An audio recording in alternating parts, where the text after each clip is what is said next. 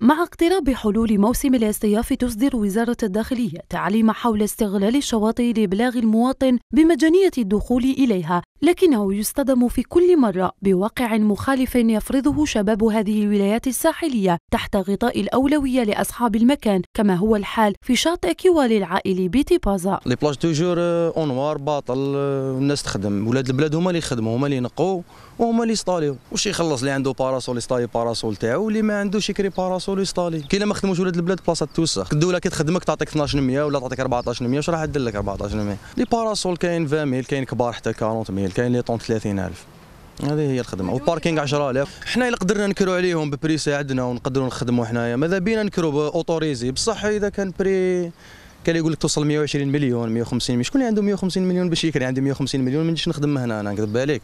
ورغم توفر بعض المركبات السياحية العمومية على قلتها إلا أن المواطن لا يجد الخيار للجوء إليها بسبب أسعارها المرتفعة والتي تفوق العشرين ألف دينار لليلة الواحدة وهو ما يدفع البعض إلى قضاء العطلة خارج الوطن. vacances تونس تاع dix jours يستقام لي بالك واحد 60 mille دينار mais هنا في بلادنا بالك يوصل لي حتى حتى ل 200 mille دينار ولازم له يروح يجوز وين يلقى راحته وين يلقى راحة جيبو en plus de ça صح les prix بين Algérie و l'étranger différence. بصح mais أنا ندوز في بلادي خير.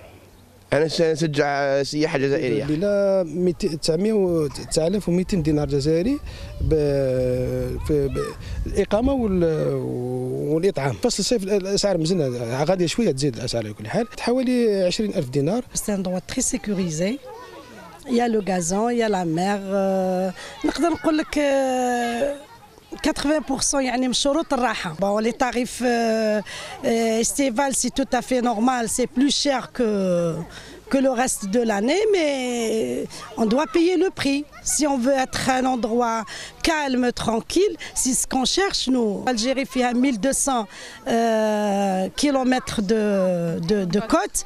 On peut avoir la meilleure... Euh, الميور توريزم دون لافريك كامل كان إذا قال أنا في الفرانه مليح قال اطهلاندكس المسؤولون يبررون هذا الغلاء بالمصاريف التي يتطلبها تسيير هذه المرافق السياحية. تروح أماكن أخرى ربما تلقى 50000 دينار جزائري تلقى 60000 دينار جزائري. كل إنسان وهذاك بالي شارج تاعنا حنايا دو فوا بليس على البريفي لازم الإنسان يعرف هذا المشكل هذا تاع التسيير تاع ومن الناس في عندها الأفكار فكره باللي تاع الدولة باللي الدولة تعطينا الأموال وحنا نصرفوها ولا حنا نستغلوها فيها كمسيرين كما يستغلوا فيها البريفي. إلا خدمنا نخلصوا ولا ما خدمناش ما نخلصوش. الأطفال أيضا يرغبون في تطوير السياحة بالبلاد. داير شباب بزاف. لازم يوفروا لنا أماكن باش للسياحة. موالف ما نلقاش الحيوانات ومن بعد نلقى معليش هذا اللي ينقصني. وتبقى الجزائر منطقة سياحية بامتياز تغري كل من تعرف على سواحلها الجميلة.